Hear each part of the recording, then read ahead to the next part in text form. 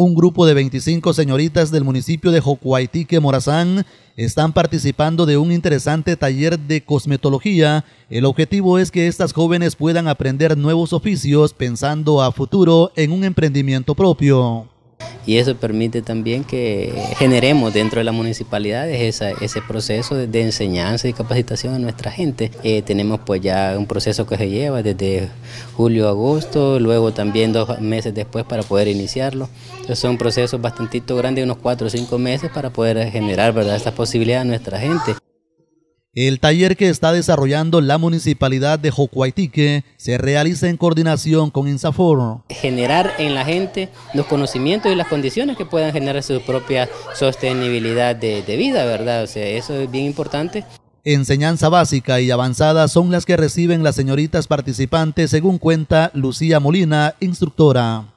Por ejemplo, la técnica, la básica de uñas acrílicas, las uñas, este, ven el pedicure, el profesional, ¿verdad? Porque no se les enseña así, digamos, lo básico, sino que les enseña un este, pedicure profesional, se les está también enseñando este, la técnica de los temas, ¿verdad? Que es manicure, pedicure, uñas acrílicas, eh, se les enseña también este, la limpieza de uñas, ¿verdad? El maquillado de uñas, eso todo esto entra y también las medidas de higiene, ¿verdad? Que son cómo ellas van a desinfestar las herramientas, los materiales. Las participantes agradecen esta oportunidad y no pierden el entusiasmo que los conocimientos sean puestos en práctica.